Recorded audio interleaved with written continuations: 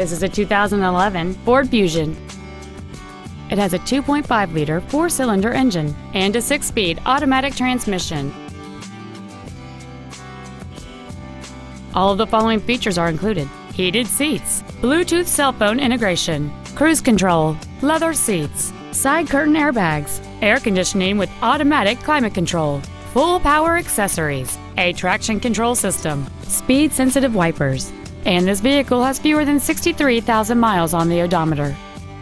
Please call us today for more information on this great vehicle. Thank you for considering Wilde East Towne Honda for your next luxury vehicle. If you have any questions, please visit our website, give us a call, or stop by our dealership located at 5555 High Crossing Boulevard in Madison.